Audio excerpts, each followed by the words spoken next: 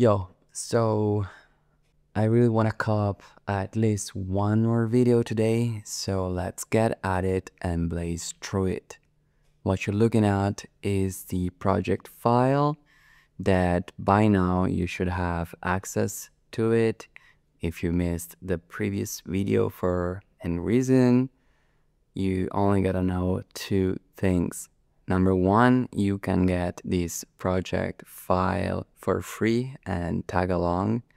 The only thing that you have to do is follow the link in the description, which will take you to ArtStation. And from there, you can download this file. Number two, this is part of a series of videos that I have organized in a playlist. And so also in the description, you can find a link to that playlist.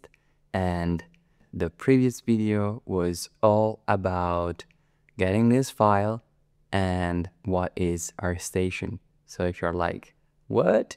What's ArtStation? Well, there's a video about that and it's the one before this one. Okay, moving forward. Um, by now, you know that this right here is the 3D viewport. And right now, you are looking at it from the perspective of a camera, which I have set up. Now, you might ask, why does it look gray? It looks gray because right now we are in a viewport shading that is called solid. So these four dots over here are the topic of today's video. The viewport shading is four ways in which you can visualize the 3D content in your scene. The default one is the solid one, which displays everything in gray. If you want to see colors, you can move to the next one to the right, which is the material preview. And now we got some color, but you might notice that it kind of looks slightly different from what you have seen in previous videos.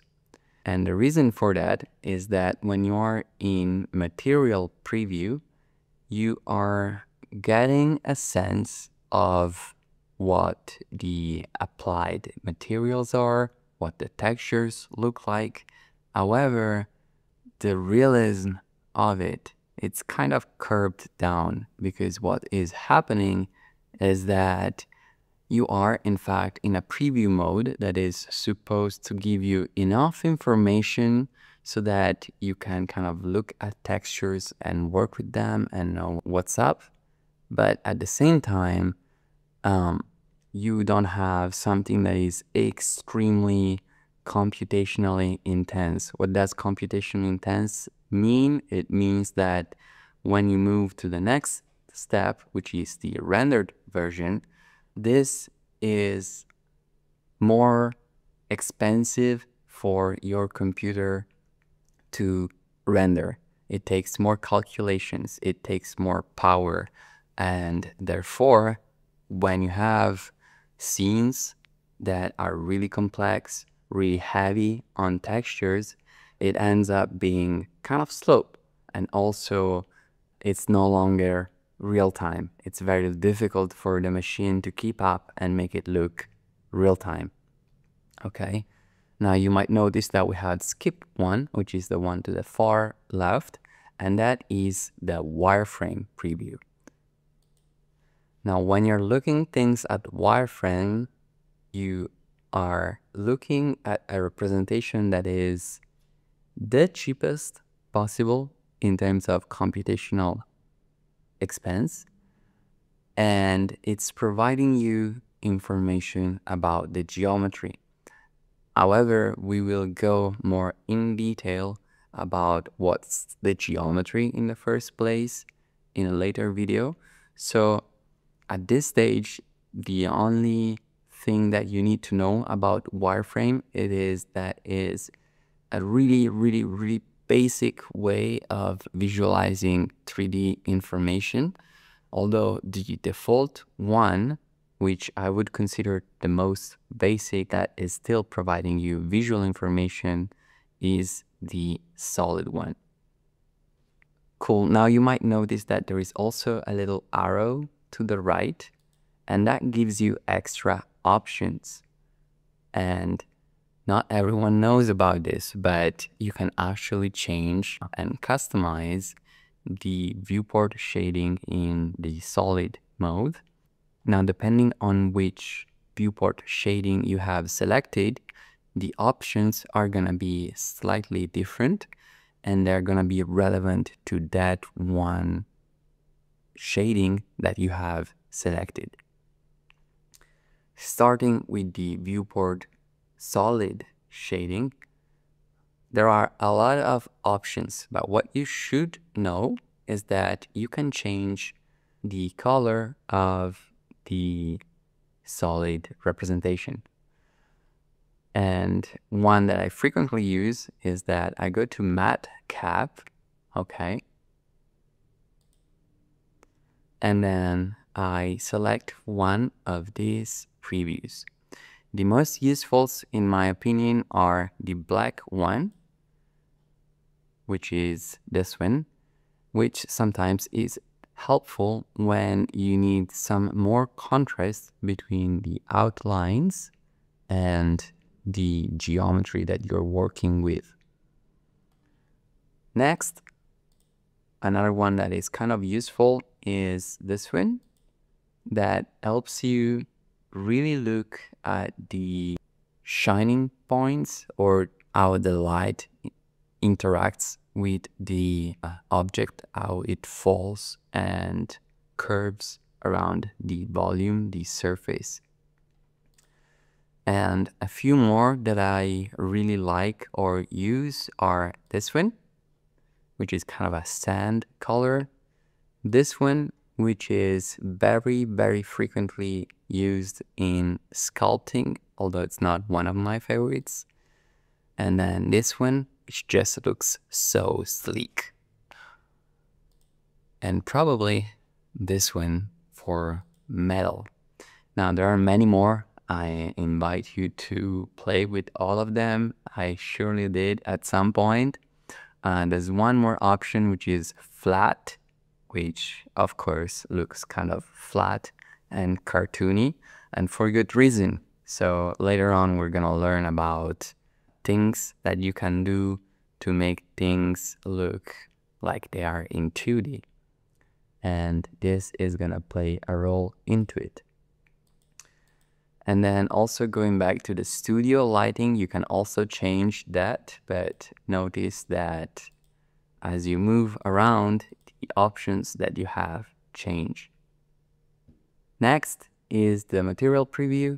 And once again, if you click on the little arrow, what you're going to notice is that you have options, although now they are different. So one thing that you can do is click on this sphere and what you will be able to do is change the environment that is around the scene. So for example, as you change the environment, you're going to see that one, the reflections are changing, and two, the lighting is changing.